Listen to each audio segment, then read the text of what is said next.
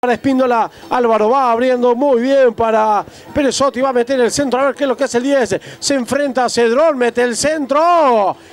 La van a buscar ahora en la baja con el taquito, muy bien el, eh, número 10. Van buscando ahora en mitad de cancha, van buscándolo ahora a Perezotti. Perezotti juega nuevamente con Paredes, Paredes es el número 13 ahora.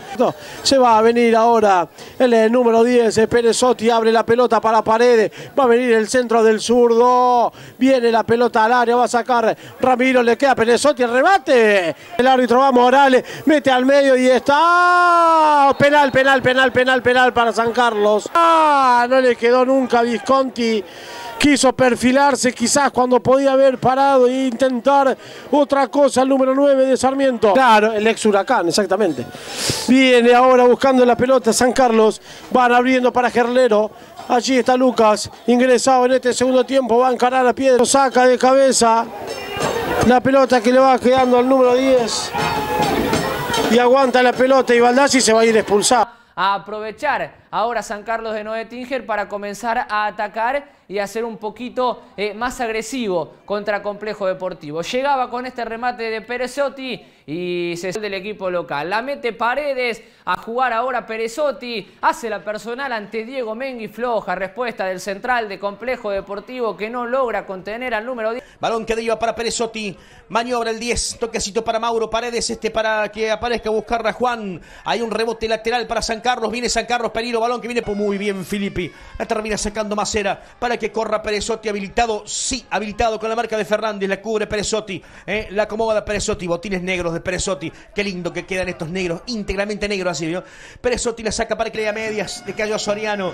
La saca Macera tirándose en palomita. Viene para Paredes. Paredes para Perezotti. Perezotti para el otro, Paredes para Juan. De, San Carlos ya en los instantes finales, este, un jugador de Bel cometió un, una, una... Marcelo. Y sí, bueno, eh, demostremos que lo que ocurrió el, domingo próximo pasado en Oettinger y, que tuvo como escenario como Garelli, Garelli cortita para que venga Maurito Paredes, Paredes para que venga Perezotti, Perezotti, qué linda pelota, Paredes para Macera, Macera al medio, buena pelota para Perezotti que pasó, la tiene Perezotti, la cambió toda para que la venga a buscar Maxi Morales.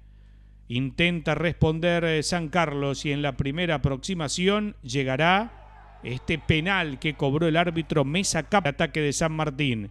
El remate de Alexis Perezotti a los 19 minutos, con ese remate cruzado a la derecha de Kiligotti, que eligió su poste izquierdo.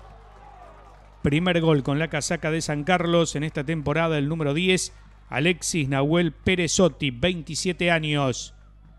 Haría el tercero de San Carlos en esta acción reclama San Martín. Parece una clara posición adelantada de Alexis Perezotti.